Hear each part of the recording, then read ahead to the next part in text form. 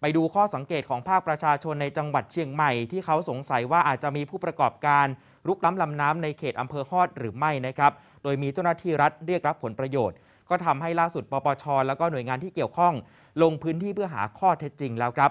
คุณสมครานเครือบุญติดตามภารกิจในการตรวจสอบครั้งนี้ครับท่าทรายในพื้นที่อำเภอจอมทองและอำเภอฮอดจังหวัดเชียงใหม่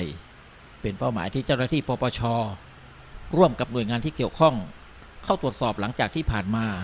ได้รับการร้องเรียนเกี่ยวกับการลุกล้ำลำน้ำและมีเจ้าหน้าที่รัฐหน่วยงานหนึ่ง เรียกรับผลประโยชน์จากผู้ประกอบการท่าทรายจำนวน 7 แห่ง และอยู่ระหว่างการดำเนินการของคณะกรรมการไต่สวนสำนักงานปปทเขต 5 และจากการตรวจสอบพื้นที่พบว่ามีการดูดทรายจากแม่น้ำปิง และแม่น้ำแม่แจ่มของท่าทรายต่างๆ จริง โดยมีใบอนุญาตถูกต้อง แต่จากการนำแผนที่ทางอากาศ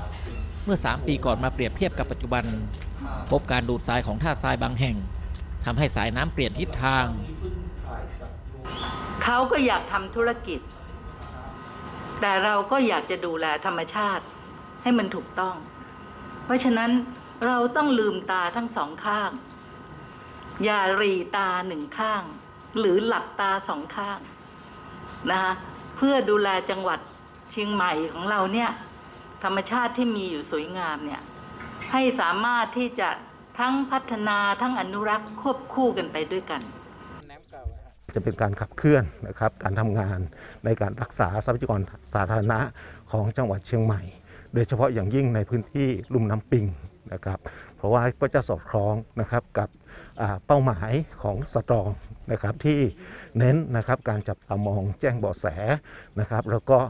ร่วมกันในการสร้างสังคมที่ไม่ทนต่อการทุจริต นอกจากนั้น ชุดบูรณาการร่วมยังได้ลงพื้นที่ตรวจสอบลำน้ำแม่สา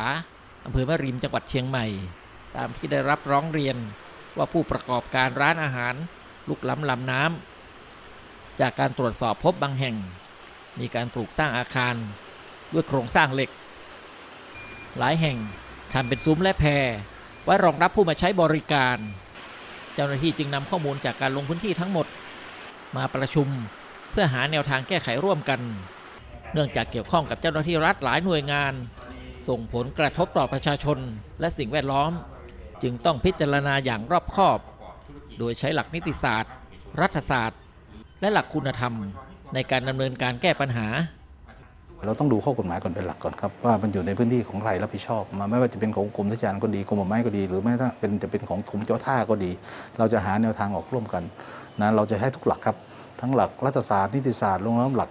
อ่าความเดือดร้อนพี่น้องประชาชนในพื้นที่นะครับเราต้องดูร่วมกันอย่างนี้ครับนะครับถ้าหากเป็นนายทุนเราจะดูยังไงอันนี้เราต้องดูข้อเท็จจริงก่อนครับเพราะว่าเรายังไม่รู้ว่าข้อเท็จจริงคือยังไงนะครับเราต้องสอบสวนให้ได้ข้อเท็จจริงก่อน ถ้าพบ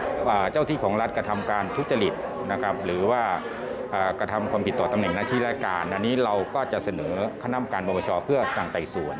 นะครับ ก็จะมีการอมอบคณะไต่สวนเบื้องต้นในพื้นที่ เพื่อดำเนินการไต่สวน หากมีมูลความผิดเราก็จะแจ้งข้อกล่าวหา ให้ทางเปิดโอกาสให้ทางผู้กล่าวหาชี้แจงแก้ข้อหานะครับต่อไปนะครับ แล้วก็จะเสนอรายงานต่อคณะกรรมการปปชเพื่อชี้มูลความผิดไม่ว่าทางอาญาหรือวินัย การลงพื้นที่ตรวจสอบของเจ้าที่ปปชในครั้งนี้ดำเนินการตามโครงการต้านและลดทุจริต